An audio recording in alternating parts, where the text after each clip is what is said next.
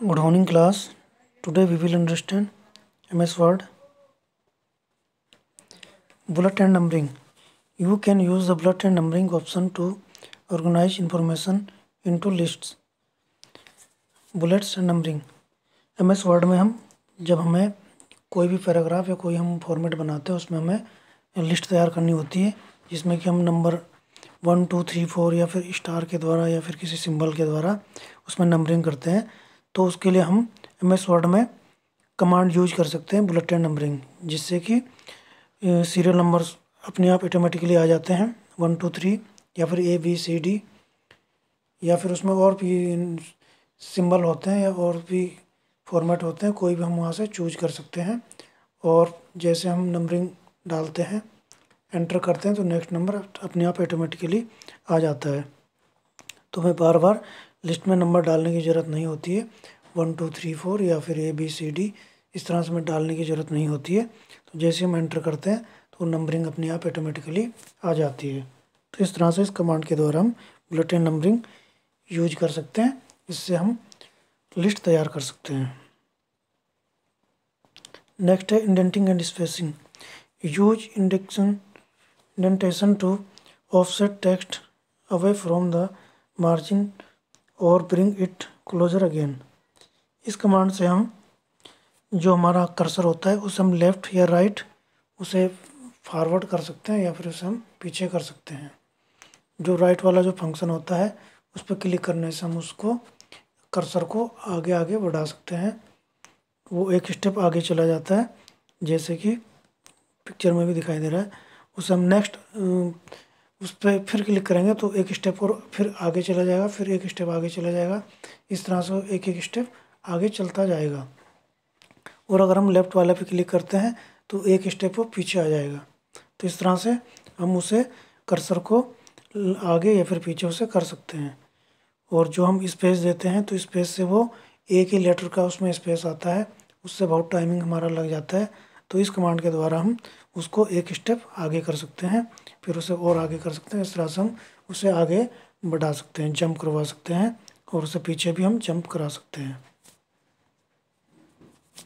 Next है undoing mistakes sometimes you want to reserve the last action you performed for this you can use the undo button similarly you can use the redo button to repeat the last action जब हम कुछ M S Word में कुछ हम work करते हैं और हमारे कुछ उसमें मिस्टेक हो जाती है तो फिर हम अंडो कमांड कर देते हैं। तो जो हमने लास्ट में कमांड दी है, वो कैंसिल हो जाती है और हम पीछे जो हमने वर्क किया था तो हम उसी पे वापस आ जाते हैं।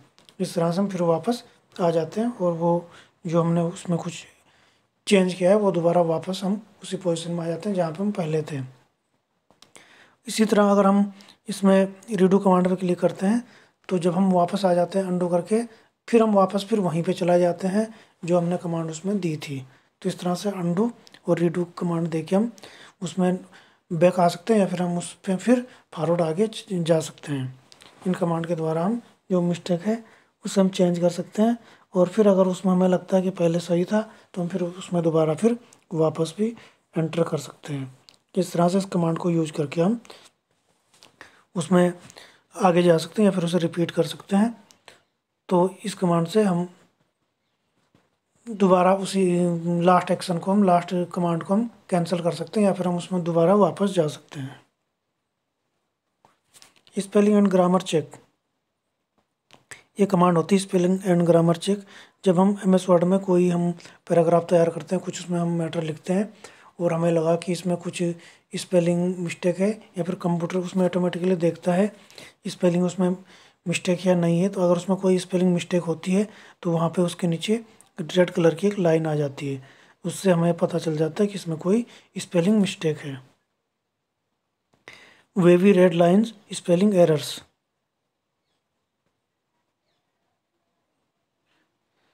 तो हमें wavy grey lines grammatical mistakes अगर उसमें ग्रीन लाइन आती है तो उसका मतलब है, इसमें कुछ ग्रामेटिकली कुछ मिस्टेक है सेंटेंस में कहीं पे कुछ मिस्टेक है तो उसे हम देख लेते हैं और उसे चेक कर लेते हैं। You can check the spelling and grammar of the entire documents by clicking the spelling and grammar button on review tab तो इस तरह से स्पेलिंग और ग्रामर कमांड से हम उसमें चेक कर सकते हैं कि हमारे कहाँ पे स्पेलिंग मिस्टेक है और कहाँ पे हमारी ग्रामेटिकल मिस्टेक है और उसे हम फिर चेक कर लेते हैं या फिर हम उससे माउस से राइट क्लिक अगर हम करते हैं तो हमारे पास ऑप्शन भी आ जाते हैं। उससे रिगार्डिंग वर्ड हमारे पास आ जाते हैं तो वो हमें वहाँ से हम भी, वहाँ से भी हम उसे ऐड कर सकते हैं और उसे डिलीट करके वहाँ पे स्पेलिंग को हम करेक्ट भी कर सकते हैं। तो इस तरह से हम स्पेलिंग एंड ग्रामर चेक के द्वारा अपना डॉक्यूमेंट चेक कर सकते हैं और उसमें जो मिस्टेक है, उन्हें हम सही कर सकते हैं। नेक्स्ट है page layout page layout command में हम पेज को देख लेते हैं हमारा पेज किस तरह से वो हमने ए फोर साइज़ में लिया है या फिर हमने उसे लेजर में लिया है ले, लीगल में लिया है ए थ्री है तो हमारे पेज का जो भी साइज़ है तो वो हम वहाँ से उसे सेट कर लेते हैं। उसका मार्जिन हम देख लेते हैं पेज का मार्जिन का हमने क्या रखा है नॉर्मल है नेरो है वाइड है या फिर कुछ और हमने साइज़ रखा है कस्टम मार्जिन भी हम कर सकते हैं। उसमें हम कस्टम में जैसे नॉर्मली जो नॉर्मल हम लेते हैं तो उसमें एक इंच लेफ़्ट एक इंच राइट टॉप और बॉटम में स्पेस उसमें होता है। और जब हम कस्टम मार्जिन पे क्लिक करते हैं तो हमारे पास ऑप्शन आ जाता है कि हम लेफ़्ट में कितना मार्जिन देना चाहते हैं राइट में कितना देना चाहते हैं टॉप में कितना रखेंगे और हम बॉटम में कितना मार्जिन रखेंगे। तो वो सारा हम वहाँ पे सेलेक्ट कर लेते हैं। जो भी हमें मार्जिन रखना होता है, हम वहाँ से वो सेट कर लेते हैं और फिर ओके कर लेते हैं। तो वो मार्जिन हमारे पेज में आ जाता है। और पेज ओरिएंटेशन में हम पेज का ओरिएंटेशन देख लेते हैं। पेज हमें पोर्ट्रेट रखना है लैंडस्केप रखना है, किस तरह से हमें पेज रखना है, वो भी हम वहाँ से सेट कर लेते हैं। और हमारा पेज उसी के अकॉर्डिंग फिर आ जाता है पोर्ट्रेट या फिर लैंडस्केप में। तो इस तरह से हम उसका ओरिएंटेशन भी चेक कर सकते हैं। नेक्स्ट है पेज का साइज़ पेज का साइज़ हम उसमें लेटर रख सकते हैं। उसमें टेबलॉइड रख सकते हैं, लीगल रख सकते हैं, A three, A four, A five, B four, इस तरह से उसमें बहुत से साइज़ होते हैं तो हम वहाँ से कोई भी साइज़ सेलेक्ट कर लेते हैं जिसके अकॉर्डिंग हमें वर्क करना होता है। लेकिन नॉर्मली जो साइज़ होता है, वो ए फोर साइज़ होता है पेज का, जो कि हम, जिस पे हम प्रिंट आउट निकालते हैं और जो हम नॉर्मली ऑफ़िस में, स्कूल में या फिर अदर जगहों पे जो यूज़ होता है तो ए फोर साइज़ यूज़ होता है।